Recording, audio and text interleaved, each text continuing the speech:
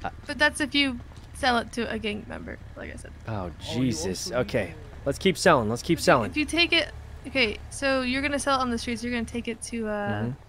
Oh no, spot I'll sell it to of a gang right? member. I know a guy. Oh, I definitely okay, know a okay, guy. Okay. okay. Come get your oxy. Come get your oxy.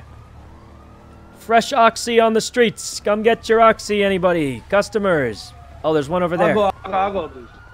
All right. Fresh oxy, come get your Right here. oxy. Sir, sir, I got fresh, fresh oxy on the streets. oxycontin, we have the There you go, oxycontin. sir. 20 marked bills gone. Look at that. Guys, we just got 5K. Oh my God, we're going to make Another huge one, money. Another one. Huge. Oh, hold on. Eh, eh. Okay. Hey.